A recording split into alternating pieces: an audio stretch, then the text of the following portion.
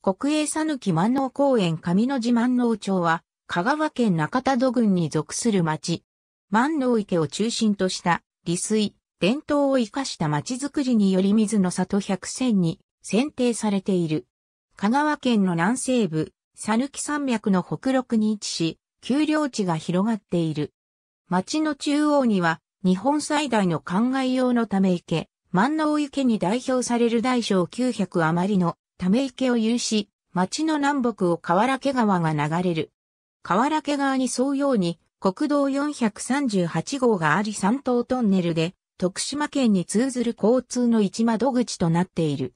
西側には生産地方へ流れる埼玉川がある。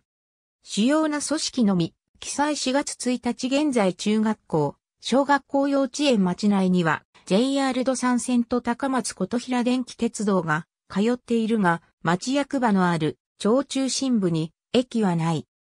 町役場の最寄り鉄道駅は、隣の琴平町にあることでの得ない駅である。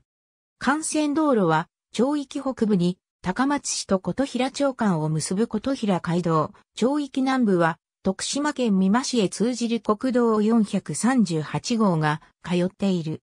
境界を接する市町のうち、高松市は本町と直結する道路が存在しないため、他市町を通らずに行き来することは不可能である。三好市へも他市町を通らずに自動車で行き来するのは困難である。香川県道154号、久保や塩野江線は、島地境付近が普通区間となっている。一般国道県道道の駅全域が0877、町内の周配業務は、琴平郵便局が担当している。766から 00XX、